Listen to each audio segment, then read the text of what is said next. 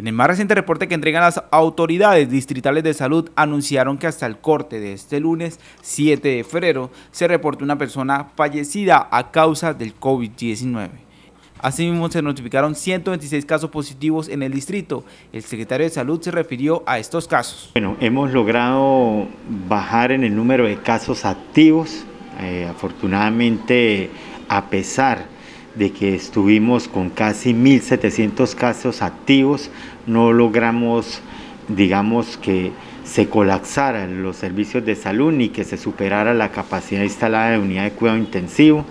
Eh, vemos ya cómo el avance del Plan Nacional de Vacunación ha incidido positivamente en las muertes y en la ocupación de las unidades de cuidado intensivo.